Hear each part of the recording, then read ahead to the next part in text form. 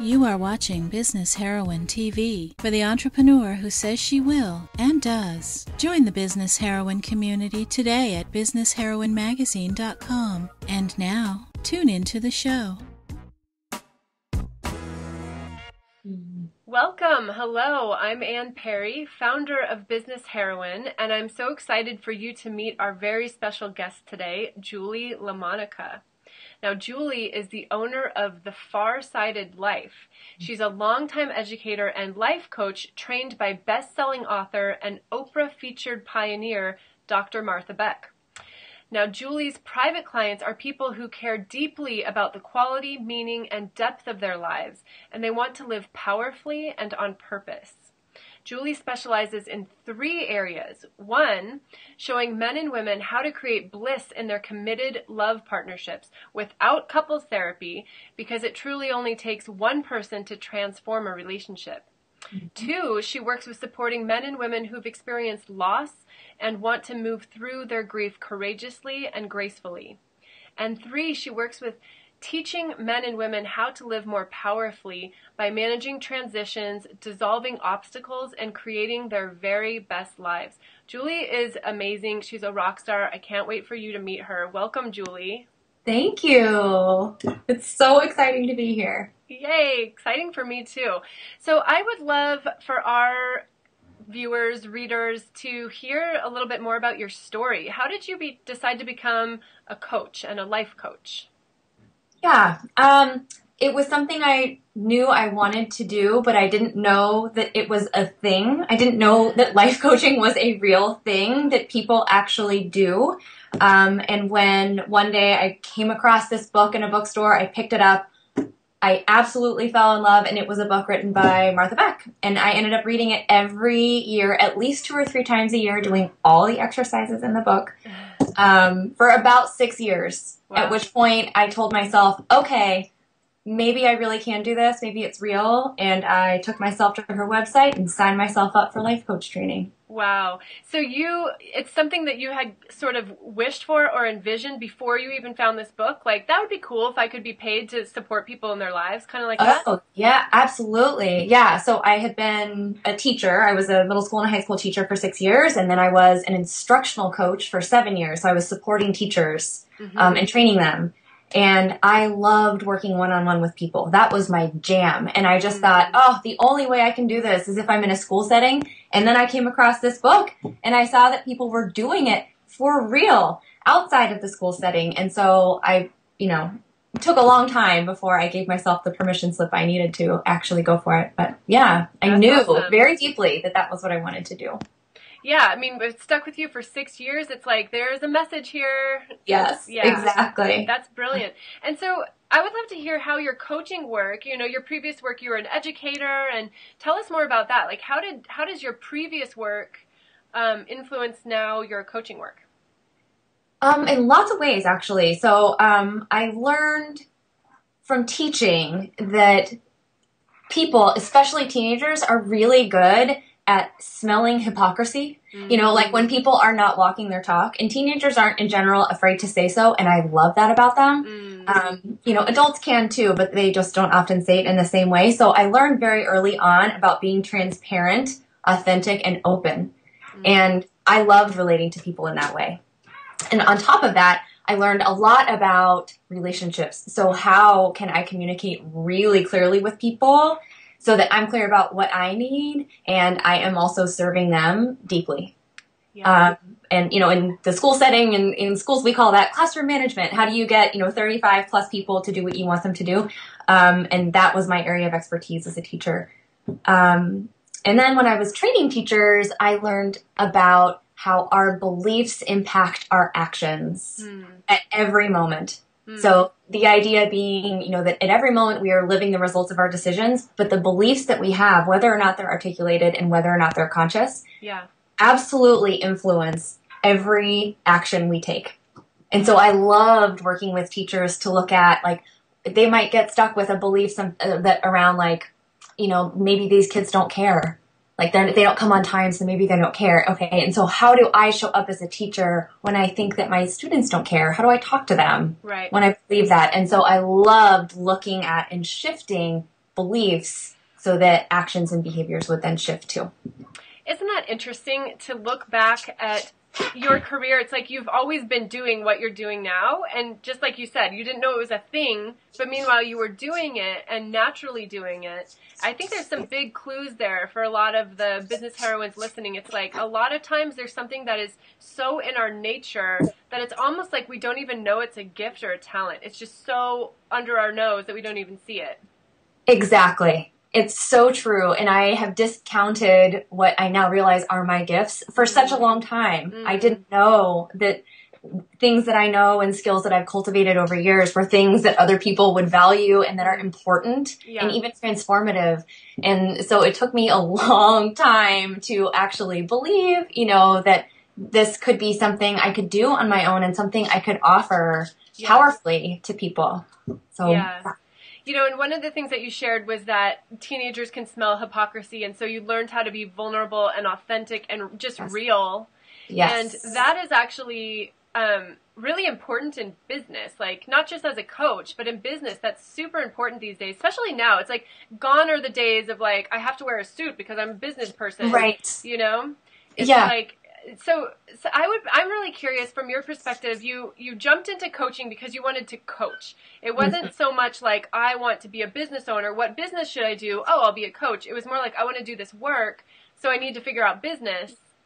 Right? Yes. So I would love to hear a little bit about that journey and and any advice you have from a business perspective for other heroines out there who are thinking about starting a practice similar to yours. Sure. Yeah. So what comes to my mind immediately is that I am very much uh, an unexpected entrepreneur. This was not something, as you said, that I was planning on doing. Oh, being a business owner was not something I had in my sights, you know, when I was pursuing my education career.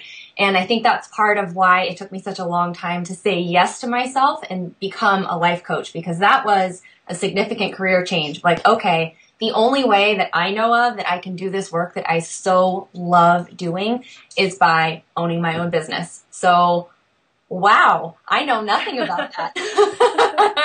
so it took me um, a while to kind of wrap my head around how much I would be jumping into completely unknown territory. But for whatever reason, I felt willing to do that. Yeah. And I still do. It's like there is so much I don't know. And I love that part of owning a business actually. It's really interesting to be learning constantly.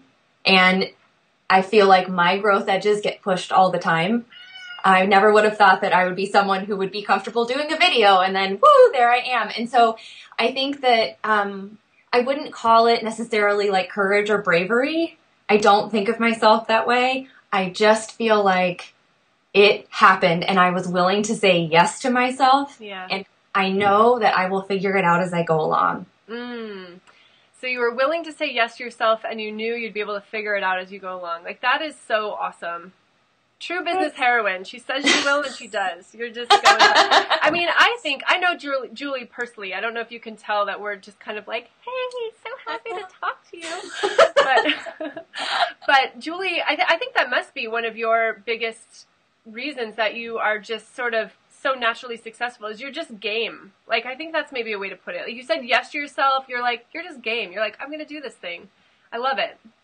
I that's an awesome phrase. I love that and it feels really good to me. Like, yeah, I don't I don't know what it is and I've gotten that feedback from other people like coaches I know and my friends and my family. They're like, "Oh, look, you're you're doing that now." And it's like, "Yes, I am." And yeah. I don't ever feel like I know what I'm doing. I don't know if I will ever reach that point where I've like arrived or something, but that's not the goal for me. It's yeah. more like I am going day by day and learning and loving what I'm doing and figuring out, you know, it's not about me. It's figuring out what other people are wanting and needing from me and what I can offer powerfully. So it's like this ongoing exercise in empathy, and that is just right up my alley. So yeah, I'm yeah. game for that. Oh, well, listen closely, heroines, because there was just a lot of wisdom that just came through there for sure. You know, and I think that um, you know what you said about learning it as you go. That's so important because let's say that you were just going to wait until you had it all figured out before you go. It's like that's first of all that's kind of boring. Second of all, yeah. Second of all, you're just it's like you're kind of hoarding what you have to give. I'm talking to kind of everyone here. I'm talking for all of us. If we wait until we have it all figured out, it's kind of like like where is there there's no inclusiveness there. We're not including other people in like we're not giving our gifts. We're sort of withholding and hoarding and that doesn't work. And also mm. it's like that's like i don't know. It's like not speaking until you're 30 years old until you've learned all the words you need to learn or something. We're still learning new words and you know for the rest of our life so it just doesn't make any sense. Yes. So yeah. Yes, it's so true. And that's actually a big piece of my work. And I needed to learn that. I think that's a big reason why I needed to be in my education career for so long. Mm-hmm. I had to shift from what educators call an achievement mindset, right? Where like once I get the A or once I get the master's degree, right. then I can do whatever. Right. right. And shifting from that achievement mindset to a growth mindset where I recognize that I am constantly learning and growing and shifting and that the, the word failure, you know, like isn't charged so negatively. It's more like, okay, that didn't work. And I can take that as feedback and information and yeah. data and not let it be so charged yes. and not let it mean that I suck or something. I can just let it mean like, okay, that's maybe not the right path for me or that doesn't really work for my business. So I'm going to try something else. So it's yeah. hugely empowering to have that kind of mindset. And I did not grow up with that. I grew up with the achievement mindset. So that was, you know, something that I needed to learn over time. So yeah. it, it, absolutely informs the work that I do now as a business yeah. owner. Yeah, thank you for speaking to that because this is a hugely important quality to have as a business owner. And that's something that you help people achieve through your coaching. I mean, you help people yeah. to live more powerfully and not be um, at the whim of circumstance, but to choose their path and to choose how they are and to see yeah. something not as a failure or a, or a huge setback or have it be so charged that it freezes them up, but to have it be feedback and to roll with that and keep mm-hmm. going. And like, that's what you need in order to, in all areas of life, really, to continue to enjoy your life and find success in what you're after. So yeah. I would love to hear your business. It's called The Far-Sighted Life. Yeah. What does that mean? What is the far? What does it mean to have the far-sighted life, or to be living the far-sighted life?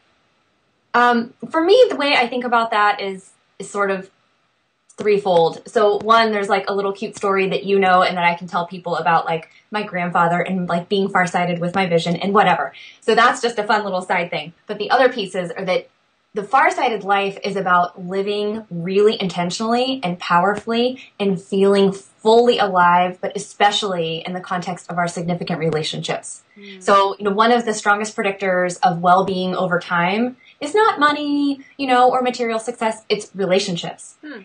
I love supporting people in that way so that, that they have these powerful, alive relationships where they feel like they can fully show up and be bold and unashamed in, you know, lots of different areas. And so for me, living a far-sighted life is about holding this longer term vision. Like, what is it that I will need and what do I want to cultivate over the long term so that I can grow this supportive, loving, respectful relationship that I really want? Mm-hmm.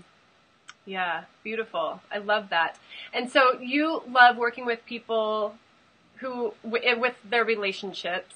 Mm-hmm. Um, what are your favorite clients? Like, who do you absolutely just get giddy about working with? Yeah. Okay.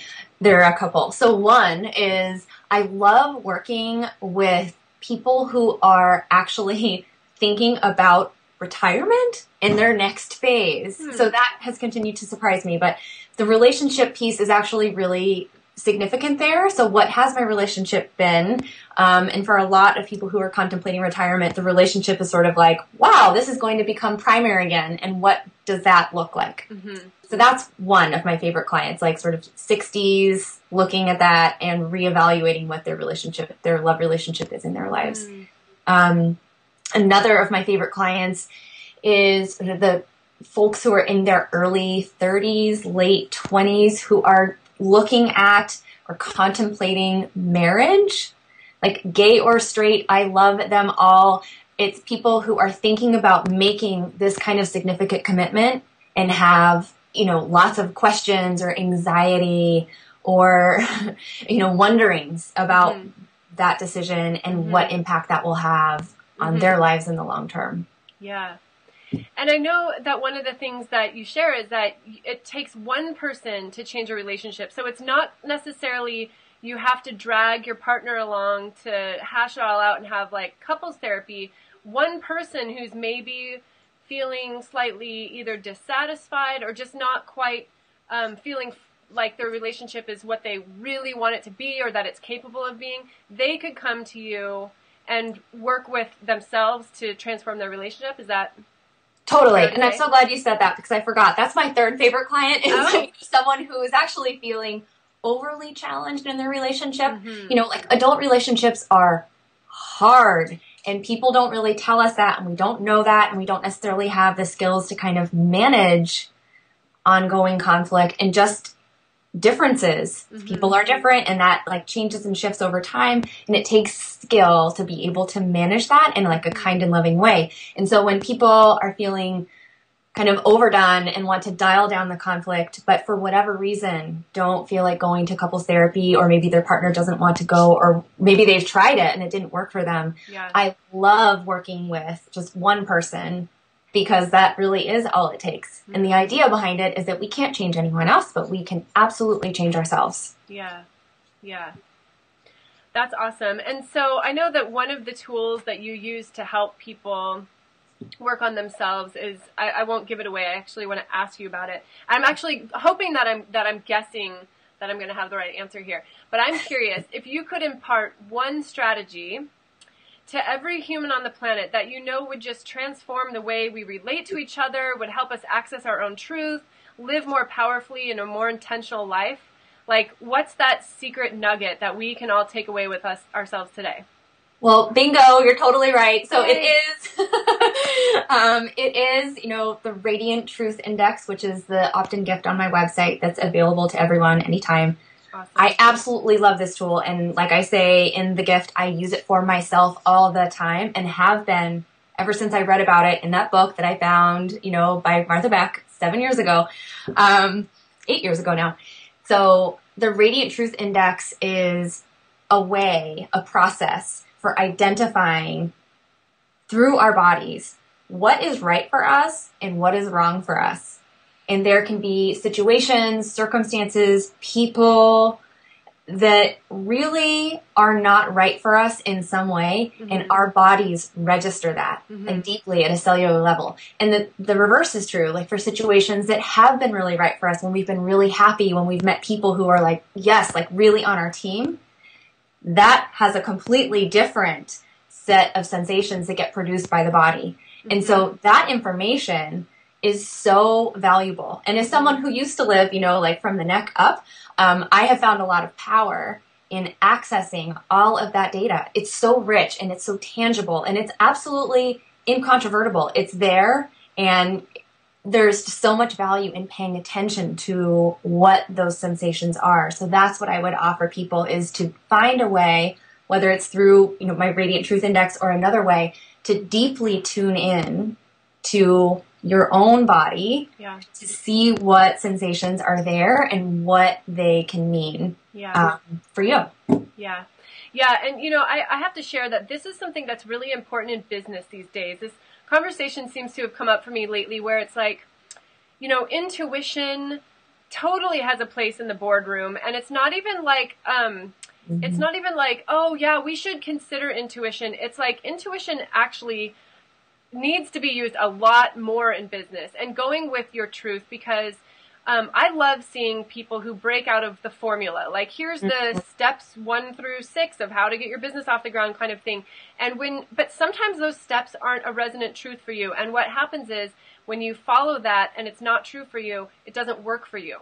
And so Yes. when you can tune into your own body and know, do I want to launch my business this way or launch this product that way? Or do I want to market my services this way? Or do I want to record videos or audios or whatever? Anything, with any business decision, big or small, when you can tune into yourself and you really know, like you know, this is my truth, it's like you're taking the fast track Mhm. to being successful because you're not you're not slowing it up with all the the muckiness. It's like it's essential. It's essential for entrepreneurs. Yes, and it's been that totally makes sense to me, and and and I am doing that now in my life because that is how I have learned to live. I had no idea about that before. And I overvalued, you know, logic and the left brain and doing what people told me to do and following rules and all of that. And I love owning a business. I love being an entrepreneur because I get to tune into my intuition and you know i don't really get questioned by other people who might think that i'm a hippie or a magic pixie it's like i am living powerfully by doing this yeah. and i get to do what's right for me and i feel like you know that is impacting every area of my life now and especially my business which i guess shouldn't surprise me but it kind of did um. yeah well and you and you this is what you deliver with your radiant truth index which i just love i was hoping that's what you were going to share and um, yes. everybody listening to this needs it and um, what i know about it is that it's a full-on coaching session it's like a it's like mm-hmm. an hour long or close to an hour long full-on coaching session that helps you get in touch with your radiant truth index so that you can make decisions that are powerful for whatever you need to in your business. Big, small, should I be with this person? Should I be with that person? Should I go with this product? Should I go with that product? Like everything yes. tuning into your body because your body and your innate and inner wisdom knows the answer for you. Exactly. Exactly. And that's why, like, as a coach, I never tell people what to do. Mm-hmm. Actually, there are plenty of coaches who do, but it's like, I am my own best expert because I have my body, but I am not anyone else's expert, right? You are your own best expert. And the way that we get that information is by tuning into your body. So as you say, for whatever decision, whether it's working with someone or, or promoting a particular product and how that happens, whatever it is, like we can know really deeply where, you know, and really confidently whether or not that's right for us by tuning in yeah. Awesome. And it, this is a free gift, right? That's yeah, it's to, free. It's okay. Yeah. So business heroines, whether you um, are having anything, you know, looking for some clarity around relationships, whether you're looking for clarity around a decision, career move, um, get the Radiant Truth Index, and we'll make sure we have the link to that here in the article, so you can just click right there and, and grab it. Um, that's awesome. Any, um, well, I was going to ask you any last words of advice or insight for our business heroines, but I've heard your cat like make a few meows from time to time. I wonder if your cat has any any wants to make a cameo on the camera with us. Well, I have no idea what Emma is trying to communicate to me. I have no idea if she has done your Radiant Truth Index, and I don't know. but yes, she seems to have something She's she wants voice. to say. I see her there walking around. She's like, meow whenever I make a video, she appears and otherwise she's completely gone. So I don't know what this is all about, but I will need to tune into her and see what's going on. Okay, well, let us know. And in the meantime, do you have any um, last words of wisdom or insight for our business heroines who are listening who either could use, um, you know, like their own radiant truth or are thinking of creating a coaching practice like yours? Ooh, um, or both. I realize that was two questions in one. No, that's okay. That's okay. I can roll with that. Um, I think that, you know, one piece with around the Radiant Truth Index is that, yes, tuning in deeply to the body for whatever question is coming up for people right now is like so worth it. So that time, as you say, it's about an hour long. It's a full on coaching session. So if people want to do it that way, or if they have another way of tuning in deeply, meditation, whatever kind of practice, that is worth the time so I used to skip over that because I had things to do, um, you know, and so now I know that whenever I have something, some kind of big decision or whatever, or a small one that I need to make, it is worth it for me to take a step back from my to-do list and really tune in and go with whatever inner guidance comes up. So it might be something like, you know, it's time for a nap. And that might conflict with my to-do list, but I know that I can really live more powerfully, get a lot more done more efficiently by listening to the wisdom that my own body offers. Brilliant. Brilliant. Well, thank you so much, Julie, for joining us and for. Thank you.